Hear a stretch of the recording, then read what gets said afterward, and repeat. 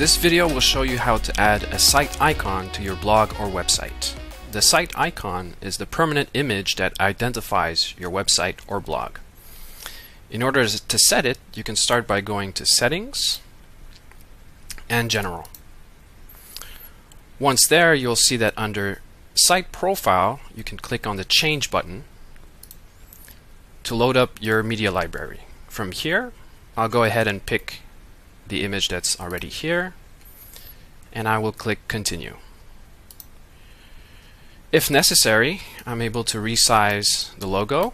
Keep in mind that it needs to be square and that we recommend that it's 512 pixels wide and tall. Go ahead and click done here. Once that is set, you'll see that your new site icon appears here as well as on the top left.